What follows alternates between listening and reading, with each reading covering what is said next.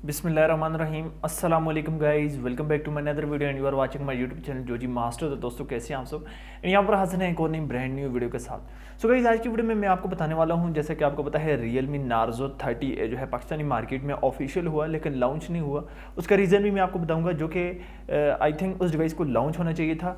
बीस हज़ार रुपये के बजट में दोस्तों वो एक ऐसा डिवाइस है जो कि four G B RAM and sixty four G B memory के साथ लॉन्च होना था, जो कि मीडियाटेक का जी एटी फाइव के चिपसेट के साथ आता है और एक गेमिंग स्मार्टफ़ोन था, लेकिन वो लॉन्च नहीं हुआ अब यहाँ पर दोस्तों एक और डिवाइस निकल कर आया है, Realme Narzo 30 आज की इस वीडियो में दोस्तों हम इस डिवाइस को भी लेकर बात करेंगे और मैं आपको बताऊँगा कि Realme Narzo 30 को क्यों जो है पाकिस्तानी मार्केट में लॉन्च नहीं किया गया तो क्या इस वीडियो काफ़ी ज़्यादा इंटरेस्टिंग होने वाली है एंड तक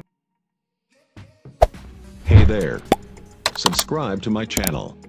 And also press this bell icon.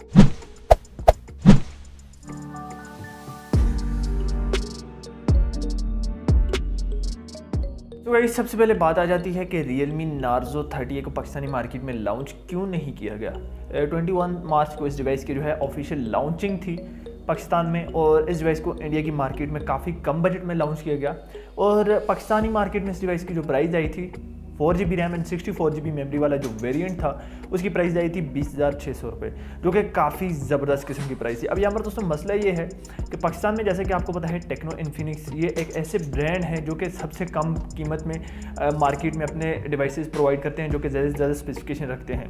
अब दोस्तों रियलमी का ये डिवाइस जैसे ही अनाउंस हुआ तो जैसा कि आपको पता है कि टेक्नो इन्फिनिक्स की जो मार्केट वैल्यू है वो काफ़ी ज़्यादा डाउन हो जाती। क्योंकि रियलमी तो एक ऐसा ब्रांड है जो कि इंटरनेशनल लेवल पर अपनी डिवाइसेस को सेल आउट करता है।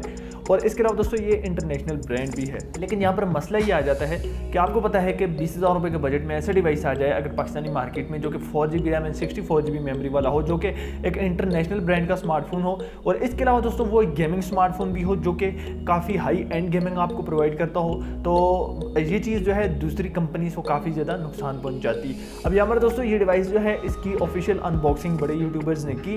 लेकिन यहाँ पर दोस्तों, इस डिवाइस को जो है लॉन्च नहीं किया गया और एक्सपेक्टेशन यही है कि ये डिवाइस जो है पाकिस्तानी मार्केट में लॉन्च नहीं होगा। अगर हो भी गया तो ये तकरीबन आपको पच्चीस से छब्बीस हज़ार रुपये के बजट में ही देखने को मिलेगा।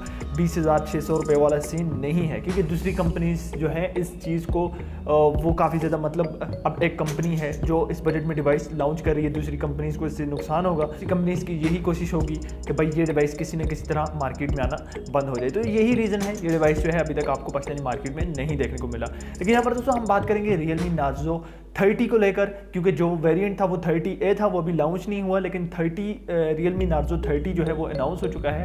अब यहाँ पर दोस्तों इस डिवाइस का लोको डिज़ाइन वो काफ़ी ज़्यादा डिफरेंट है। बैक पर आपको कुछ इस तरह की शेप देखने को मिल जाएगी, जैसे कि Realme Narzo thirty A जो था, वो कुछ दूसरी शेप का था, जैसे कि Realme C seventeen C fifteen C eleven जैसा लोको डिज़ाइन था। बट यहाँ पर दोस्तों आपको लोको डिज़ाइन जो है वो टोटली चेंज देखने को मिलेगा। सबसे अच्छी बात रियल मी नार्जो सीरीज़ में जितने भी स्मार्टफोन्स आपको देखने को मिलेंगे वो सारे के सारे गेमिंग स्मार्टफ़ोन होंगे क्योंकि ये गेमिंग सीरीज़ है। इसी वजह से यहाँ पर जितने भी स्मार्टफ़ोन लॉन्च किए जाते हैं वो गेमिंग स्मार्टफोन्स होते हैं। सो so, ये जो डिवाइस है out of the box Android 10 के साथ आपको देखने को मिल जाएगा। मीडियाटेक का जी एटी फाइव चिपसेट यहाँ पर यूज़ किया गया है जो कि आपको एक काफ़ी अच्छी गेमिंग प्रोवाइड करेगा। और लॉन्ग लाइफ परफॉर्मेंस भी इस डिवाइस की काफ़ी अच्छी होगी। गेमिंग के हिसाब से अगर मैं बात करूँ तो पबजी जो लोग ज़्यादा खेलते हैं उनके लिए ये जो डिवाइस है ये आपको 40 एफ़ यानी अल्ट्रा तक फ्रेम रेट प्रोवाइड करेगा। 40 एफ़ तक आप खेल सकते हैं इस डिवाइस में और यानी कि ये जो FPS होंगे, ये ज़्यादा ड्रॉप नहीं होंगे। वैसे मीडिया के जी में FPS कहीं ना कहीं ड्रॉप हो जाते हैं, लेकिन इस डिवाइस में ड्रॉप नहीं होंगे क्योंकि यहाँ पर मीडियाटेक का जी एटी फाइव यूज़ किया गया है। देखें मीडियाटेक जी सेवेंटी फिर उससे जो नेक्स्ट लेवल का चिपसेट आ जाता है, वो आ जाता है जी एटी फिर जी एटी फाइव तो यहाँ पर जी एटी फाइव यूज़ किया गया है। तो यहाँ पर आपको जो है फ्रेम रेट के प्रॉब्लम्स नहीं देखने को मिलेंगे। इसके अलावा दोस्तों, यहाँ पर फोर जी बी रैम है sixty four G B memory की इंटरनल स्टोरेज है। कैमरा को लेकर अगर मैं बात करूँ तो 48 मेगापिक्सल का कैमरा है। यहाँ पर कैमरा आपको ज़्यादा दिया गया है और फ्रंट जो सेल्फी है, वो 8 मेगापिक्सल की है। फ्रंट पैनल आई यूज़ किया गया है 720 के पिक्सल्स हैं यानी कि पिक्सल रेजोल्यूशन भी आपको इतनी अच्छी नहीं देखने को मिलेगी और डिस्प्ले भी जो है वो भी आईपीएस है। यहाँ पर स्क्रीन के कलर्स इतने अच्छे नहीं होंगे यानी कि फीके कलर हम जिन्हें अपनी ज़ुबान में बोलते जैसे टेक्नो इन्फिनिक्स की डिवाइसेज आपको डिस्प्ले के कलर्स प्रोवाइड करते हैं वैसे कलर्स यहाँ पर आपको देखने को मिल जाएँगे।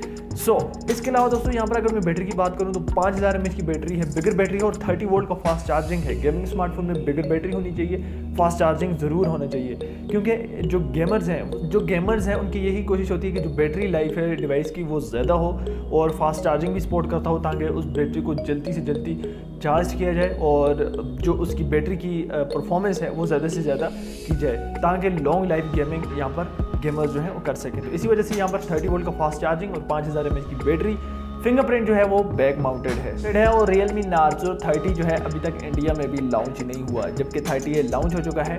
और इस बात की कंफर्मेशन है कि शायद इस डिवाइस को पाकिस्तानी मार्केट में लॉन्च किया जाए। उसका रीज़न ये है कि थर्टी ए मुझे बहुत ही मुश्किल लग रहा है क्योंकि इस डिवाइस को लेकर काफ़ी ज़्यादा प्रॉब्लम्स आ चुके हैं जिसकी वजह से ये हो सकता है कि ये गेमिंग डिवाइस आपको पाकिस्तानी मार्केट में नहीं देखने को मिले। इस डिवाइस की दोस्तों कुछ इस तरह की कन्फर्मेशन है कि इसको जो है पाकिस्तानी मार्केट में लॉन्च किया जाएगा।